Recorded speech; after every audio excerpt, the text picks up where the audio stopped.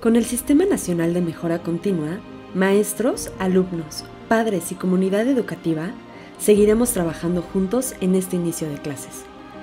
El COVID-19 sigue presente y el cuidado de nuestras niñas, niños, jóvenes y adolescentes están en primer lugar. Hacer comunidad es apoyarlos en la escuela, pues se trata de una situación extraordinaria y solo juntos podremos salir adelante.